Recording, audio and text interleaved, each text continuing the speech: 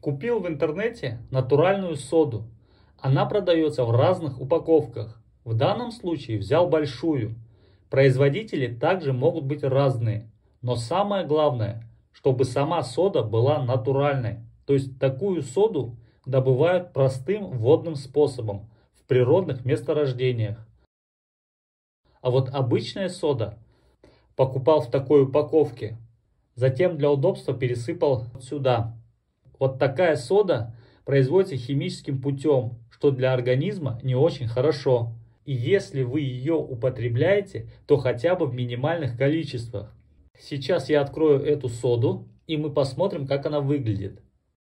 Так, смотрим. То есть она более нежная, приятная на вкус. Сейчас расскажу, как я применяю соду. Начнем с обычной. Я ее использую в быту как чистящее средство, там где это уместно. Конечно, какая-то часть такой соды может присутствовать в моем рационе в определенные периоды питания. То есть, если я ем какие-либо покупные продукты, в состав которых входит эта сода. Но это мелочь по сравнению с тем, как я ее употреблял в прошлые годы. То есть помимо того, что она была в составе некоторых продуктов, которые я ел в больших количествах, так я еще этой содой периодически гасил свою изжогу. Но благо сейчас я уже долгое время использую натуральную. Но и ее применяю редко. Такой большой объем я взял по просьбе брата. О себе отсыплю немного. Я ее иногда использую в кулинарии. Например, для того, чтобы выпечка была более пышной.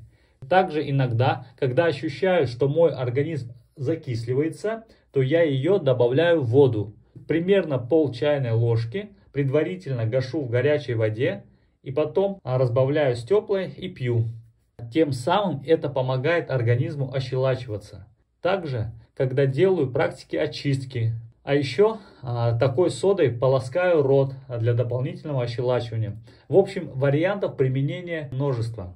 В любом случае, если есть возможность, то лучше вместо обычной соды использовать натуральную. Хотя в экстренных случаях любая сода для организма полезна, то есть в процедурах очистки, ощелачивания. Ну, на этом все. Более подробную информацию смотрите в других источниках.